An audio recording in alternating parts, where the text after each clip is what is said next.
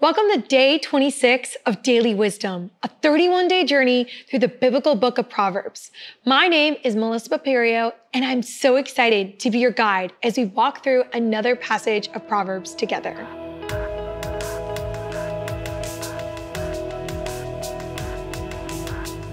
Did any of you grow up with a pet? I recently had a fish named Pudge the Fish. May he rest in peace. Now, Mr. the Fish was my buddy through my senior year of college, but unfortunately, shortly after arriving at Apopka, he passed. I also had a dog named Coco when I was growing up.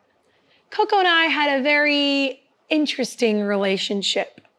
When she was a puppy, I was young and I was so scared of her. Over time, I got over my fear, but I struggled to then build a relationship with her. To me, she was always more of an annoyance.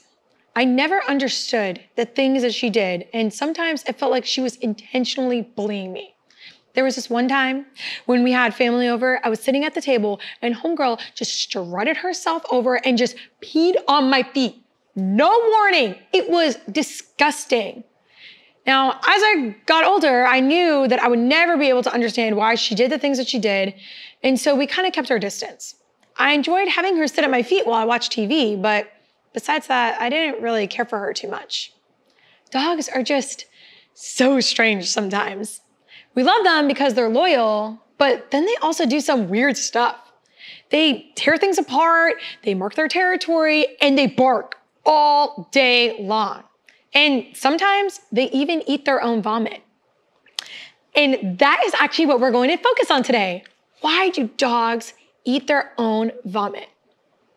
Just kidding. But that is the metaphor that Solomon uses in one of the verses of today's proverb. Proverbs 26 11 says, As a dog returns to its vomit, so fools repeat their folly. Solomon writes this verse to illustrate a fool's relationship to their sin, and this proverb is even repeated again by Peter in 2 Peter 2:22. Now, to dogs, eating their own vomit is actually appealing. Because of their incredible sense of smell, dogs are able to smell their fresh vomit and they recognize it as a yummy meal. To us, that seems completely disgusting. But for dogs, this is normal. That is why this proverb is so revolting to us, as we recognize the reality of what it's like to be a fool. As humans, we can't comprehend why anyone would return to or potentially eat anything so foul. Why would someone eat something that clearly made them sick? So then, why is it tempting for us to return to sin that clearly hurt us and made us sick? Why is it so easy for us to become the fool in this passage? Scripture tells us to purge yourself from evil, and there are actually nine references to this in the book of Deuteronomy. The book of Deuteronomy is a message from Moses to the Israelites right before his death. His goal is to remind them of all the times the Lord worked miracles in their lives by rescuing them from slavery, from parting the Red Sea, providing for them, and by bringing them to the promised land. However, the Israelites kept turning from God and pursuing sinful lifestyles. They were disobedient. They complained that the manna wasn't enough. They were fearful of entering the land that the Lord had promised. They worshiped idols and they lived selfishly. That is why Moses was so passionate on delivering this final message and reminding them of two things the goodness of God and to respond to the goodness of God through obedience. One of the ways he instructed to do this was by purging themselves from evil. Dictionary.com defines purging by saying to rid of whatever is impure or undesirable, cleanse, purify, to rid, clear, or free. Some people refer to vomiting as purging. So we can conclude that Proverbs 26 is referring to us throwing up unwanted sin, emotion, and darkness from our lives. So then, why did the Israelites return to their vomit by continually forgetting about the immense power and miracles of God that brought them to Him in the first place? Why did they desire to return to the comfort of slavery in Egypt? To answer this question, we have to look further in Scripture. In this life, we have one purpose, and that is to know God and to make Him known. And a passage that clearly tells us this is actually Matthew 28, verses 19 to 20, where Jesus says, Therefore, go and make disciples of all nations, baptizing them in the name of the Father and of the Son and of the Holy Spirit, and teaching them to obey everything I have commanded you. And surely I am with you always to the very end of the age. As believers, we are called to go into the world and to make disciples of Christ. One practical tool and word of wisdom that the Lord provided us with is the stories of the miracles that He has done in each of our lives that reflect His goodness and power. Throughout Scripture, we see stories of so many people who have been impacted by God, including the Israelites. In the Old Testament, we read stories about Adam and Eve, Joseph, Esther, David, Jonah. And in the New Testament, we read stories about Peter, Paul, John, Jesus, and so many others. Our testimonies serve as reminders of why we first fell in love with Jesus. In Journey Students, we teach our students if the Lord has redeemed you, say so. So I would love to share a story about how God worked a miracle in my life. Now, just a disclaimer this story may be hard to hear for some viewers, so please listen and watch with caution. In October 2003, I was dropped off at my grandmother's house to be driven to school. My grandmother would drive my aunt and I to school and work every single day. And I was so excited because I just loved going to school. I just loved my preschool. And so I go to my car and I'm sitting in my seat, and my aunt, who has special needs, was supposed to buckle me in. Now, she, for whatever reason, she was struggling that day. And my grandmother decided, you know what, it's okay. We're going just down the road. We'll be okay. We're running late anyway. So as we were driving, she drops my aunt off at work, but I noticed that something was wrong. I, I just knew. My grandmother had cut a curb and I was scared. I just remember the car rocking. And so I grabbed my seatbelt and I tried so hard to push it in, but it just wasn't, it wasn't going in. And the next thing I knew, I woke up on the side of the road looking up at a police officer who was asking me for my phone number. I, I had no idea what was going on. And I found out that I was actually ejected from the backseat window of my grandmother's Volkswagen Beetle. And so I recited my phone number to this police officer, and he asked if I then could stand up. And as a four year old, I was like, um, yeah, like, of course I can stand up. I didn't know I couldn't. And so I reached down to the ground and I went to go push myself up, but I, I didn't even make it an inch. And I just plopped back down. Another nice woman came over to me. She told me that she had a pretty necklace for me to put on, and which ended up to be a neck brace, and they carried me off in a stretcher.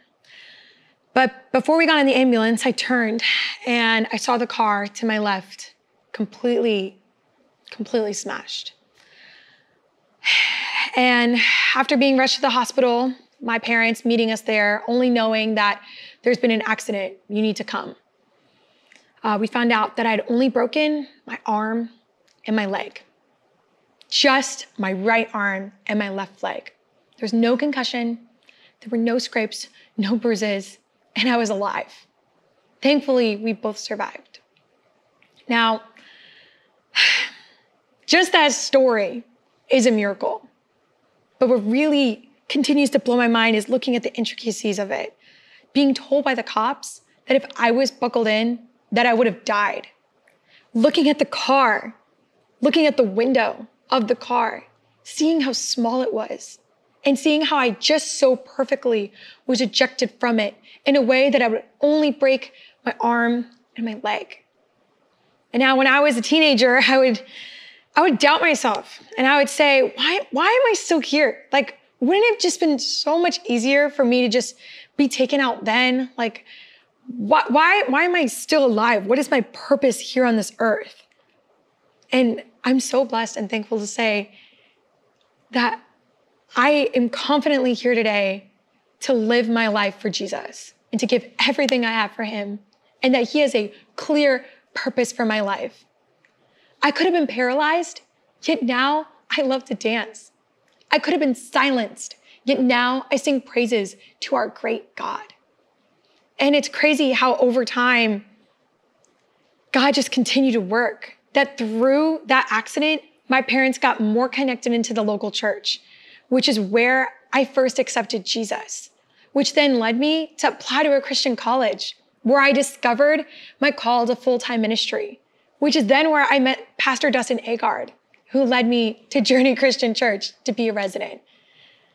And just blows my mind that not only would I not be here today at Journey, but I might not be a believer and I might not be here on this earth. However, it's not about me. It's not about my story.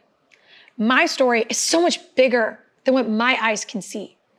The impact has caused a train reaction that is beyond me, and it's selfish of me to keep it contained. The Lord has rescued me from physical and spiritual death so that I may bring glory to his name through the miracle he performed. It would have been easy for me to die, but Paul writes in Philippians to live as Christ and to die as gain. We all have a purpose here on this earth, and it is to share the love and light of Christ. We are called to make his name known.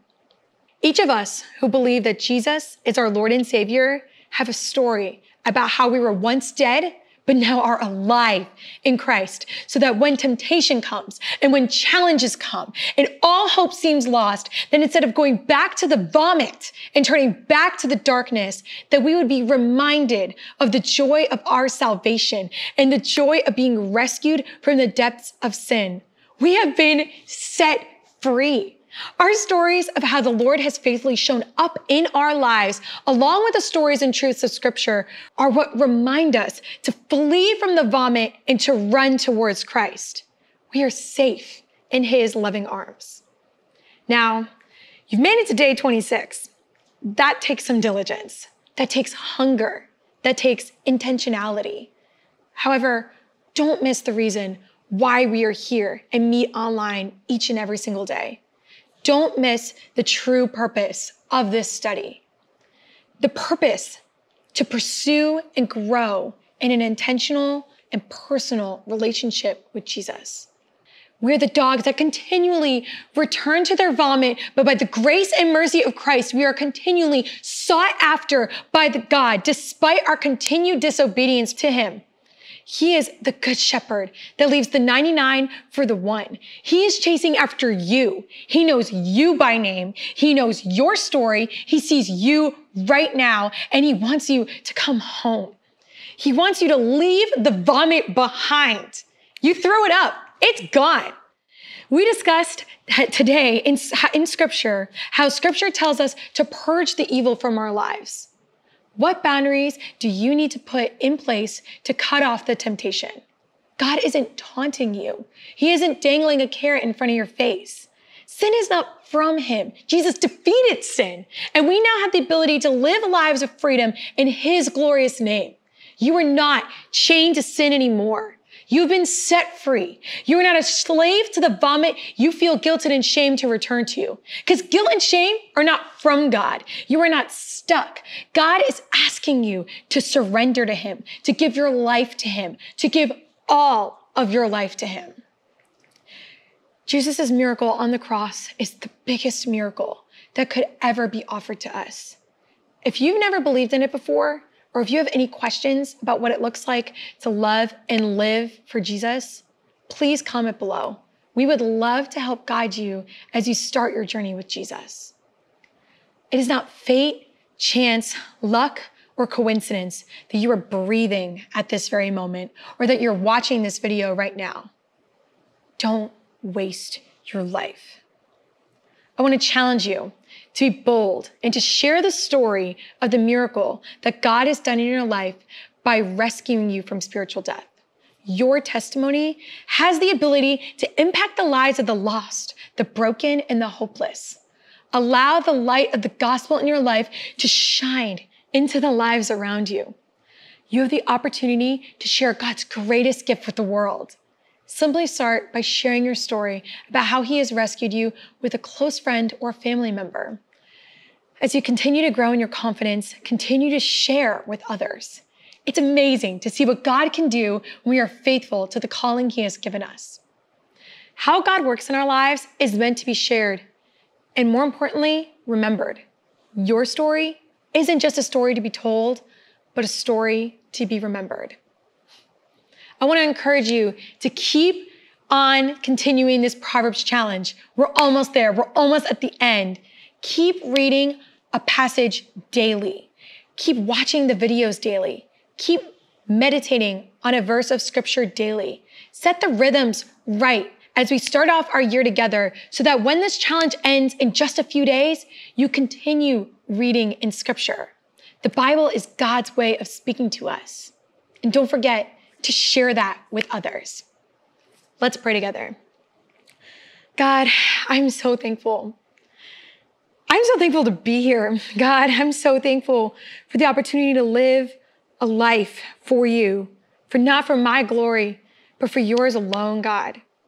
That you didn't just rescue me spiritually so that I could be in heaven with you, God, but you rescued me physically here on earth to share the story about how you work miracles in each and every single one of our lives, God. God, I pray that the people watching this video be reminded that they each have a story, that their testimony is a testimony that is meant to be shared because it's the story about how you, God, have shown your light, God. It is all about you. We are just a speck in the grand narrative that you have for us here on earth. And God, I'm just so thankful and blessed to serve at a church that just loves you so deeply, God. I pray as we go throughout the rest of our days that we would just continue to glorify you in all that we do, God. In Jesus' name, pray. Amen.